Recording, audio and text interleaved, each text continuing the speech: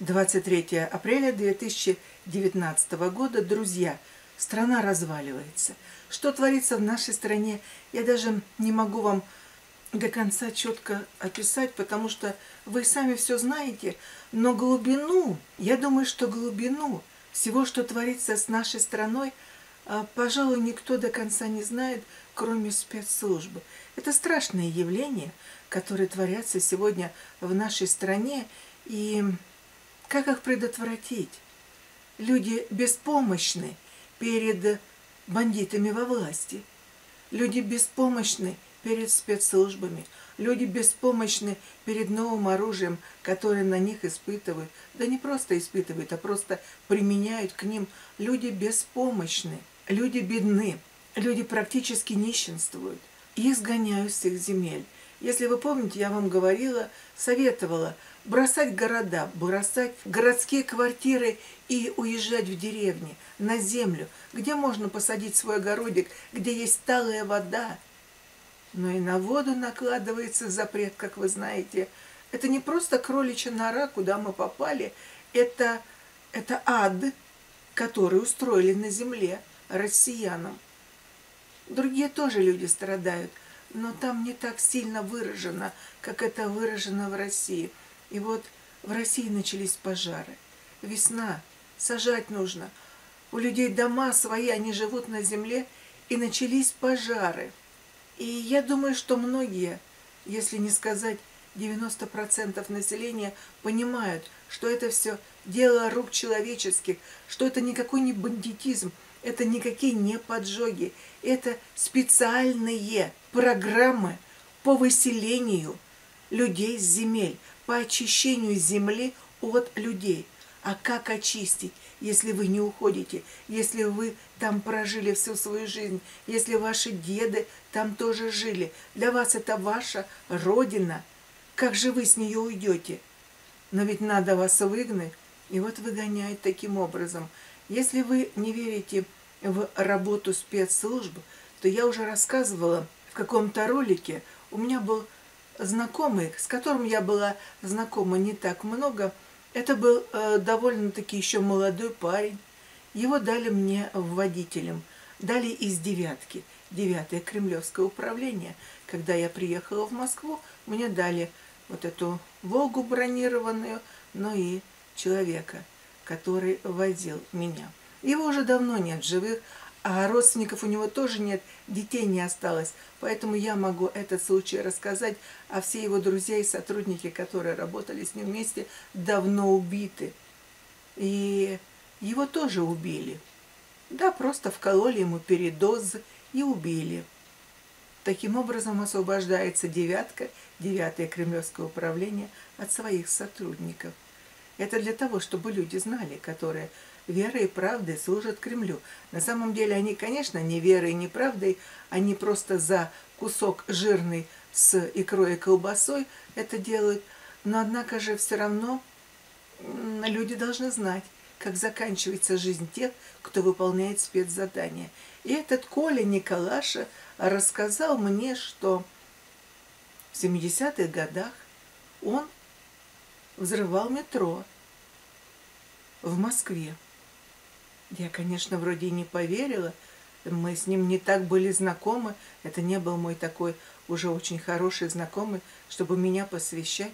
Но до подробностей, тонкостей рассказал, как он это делает. И как ему пришлось делать ноги, менты. Я говорю, а как же так, если это задание? Я же еще тоже наивная. Вы что думаете? Я уж такая просвещенная во всех делах. Тоже наивняк. Я говорю, как же так, ведь это же задание. Я не поняла тогда, что, о чем он говорил. Не сложила никакие обстоятельства. Просто вот сам по себе факт, он сюжет, он мне рассказывает, а я по ходу дела задаю вопросы. Э, вопросы лоха, конечно, на что он сказал, что это мое же дело, это, во-первых, разные службы, насколько вы понимаете, как он мне говорит, а потом это же менты, которые гонялись, менты у нас как собаки, мы их считаем за собак, да, конечно, ну вот в таком духе. Короче говоря, что я вам хочу сказать, что работники спецслужбы сами устраивают теракты. Мой вопрос в этом как раз только и состоит, что я хочу вам показать, что как раз сами работники самых секретных спецслужб близких к Кремлю устраивают теракты. Поэтому я и привела в пример вот этого Николая, своего водителя, который уже никому был не нужен. Вероятно, уже завершилась его карьера, и его так вот на а, разгон в качестве водителя употребляли его. Ну, а потом и через несколько лет, как насколько я узнала, ему а, просто вкололи передоз, и он умер. Такие люди, которые много знают, они не должны долго жить, как вы понимаете, поэтому их убивают. Свои же сотрудники – было одно поколение, пришло новое, убивает, приходит следующее поколение, выполняет задания, опять теракты, и снова убивается. И вот давайте я вам прочитаю, чтобы вы понимали, о чем я говорю, потому что печальная ситуация. Какое-то вот дерьмецо сидит, приматы, правят над народом России, приматы находятся в Кремле, в правительстве, те, которые глупые, ничего не понимают, они ничего не соображают, они выполняют только чьи-то программы приматские. Они по указке действуют. Они опустошили всю Россию. В России на сегодняшний день 35 миллионов человек. Вы можете мне не верить. Россия пустая, абсолютно пустая. В России осталось 35 миллионов человек – это не мое дело вам доказывать, мое дело вам сказать, поставить вам на вид. А вы сами уже думаете. Итак, последствия пожаров в Забайкалье показали с высоты птичьего полета. В ходе расследования уголовного дела следователи опросят должностных и других ответственных лиц, а также озвучат их работу. Между тем в России сейчас горит 22 тысячи гектаров леса, природные пожары в Приморье, Иркутской области, в Хабаровском крае, леса полыхают в Смоленской, Псковской и Амурской областях, в Красноярском крае, но самые крупные очаги возгорания в Забайкалье, свыше 20 тысяч гектаров. Сотрудники СК РФ провели осмотр пожарища в Забайкальском крае с помощью криминалистической техники – период с 19 по 22 апреля сразу в нескольких районах Забайкалья огонь уничтожил множество жилых домов и хозяйственных построек. Распространению стихии способствовали шквалистый ветер и сухая погода. Огонь уничтожил больше сотни домов, пострадали почти 700 человек, несколько сильнейшими ожогами сейчас в больницах.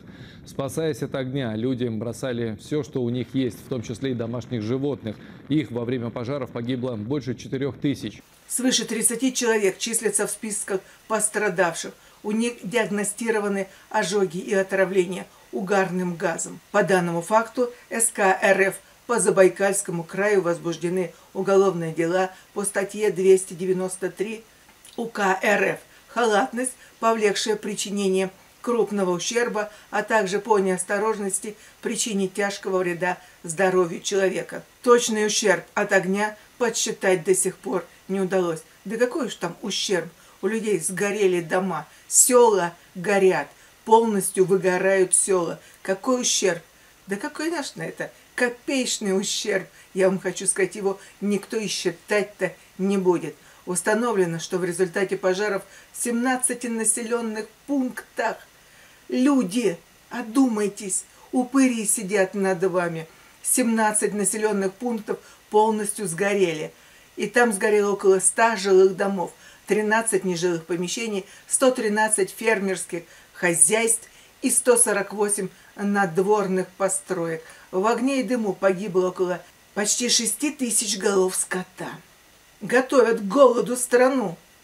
И 6 единиц сельскохозяйственной техники. Уничтожено два зернохранилища и сотни тонн кормов. Все, друзья. Считайте, что там будет голод. Ущерб от пожара уже превысил 280 миллионов рублей. Ходе расследования уголовного дела следователи опросят должностных и других ответственных лиц, изучат их работу. Также на месте происшествия будут опрошены местные жители, работа с которыми уже ведется, заявили в пресс-службе. Что будет делать сейчас СК, они будут каждого трепать нервы местным жителям и на них перекладывать вину, чтобы каждый боялся, трясся. А если он трясется, он никому в жизни не скажет, что где-то кого-то он увидел, что кто-то поджигал. И я вас уверяю, что сотрудники СК знают точно, кто поджигал. Но на тот момент они закрывали глаза. Им это было так приказано, чтобы они случайно не схватили настоящих исполнителей. А исполнители это, ну что же, будут теперь просто фермеры, крестьяне и вообще дядьки, алкоголики, алкаши или просто крестьяне, которые работяги, но у которых все сожгли. А чтобы они сильно не возмущались, на них попробуют повесить вину. А это методы борьбы с правдорубами. Те, которые любят правду, на них стараются повесить вину. Это нормальное отношение такое вот к честным людям работников Мордора. А как же вы хотели? Представляете, 17 населенных пунктов полностью сгорели. 17 населенных пунктов. Лето только начинается. А что во время лета будет? Ведь понятно, что сжигали, как в Калифорнии, тем же самым оружием, что сжигали дома сверху. Посылаются дроны, и они на жилые дома направлены, на фермы, потому что там тоже живые коровы. Тепловизоры работают. Они определяют жилые помещения, и там горят, поэтому направляется луч. И этот луч, естественно, сжигает дома. Это было в Калифорнии также. Но теперь также точечно сжигают дома в Забайкалье. Народ, думайте, вы только-только встретили весну, только-только радуетесь первым посевом своим. И что сделали? Все сжигают, чтобы вы в осень вошли в голод. В осень у вас не будет домов жить, Лето вы еще можете, не возмущаясь, строить себе где-то, куда-то ехать, что-то искать. Но это ведь не выход из положения. За лето вы не успеете дома построить, а вы строите, а вы стараетесь, вы воруете этот лес, в конце концов, вы забираете лес из лесов, из лесополосы, рубите. Пусть в счет государства вам выделяют лес на стройку дома. Неважно теперь какого дома, каменного или деревянного. Вам нужно в зиму войти в собственном доме. Поэтому стройте, помогайте друг другу. Если вы не будете помогать друг другу, вам никто не поможет. Народ все. Народ просто исчезает с нашей земли. Освобождают земли Забайкалья для китайского друга, для китайского начальника. Китайцы, ваши начальники теперь. Китайцы выкупили все, они все это забрали, а наши дешевые чиновники, приматы, все сдали, как всегда, на корню. Я Таня Карацуба, Сиит Бурхан.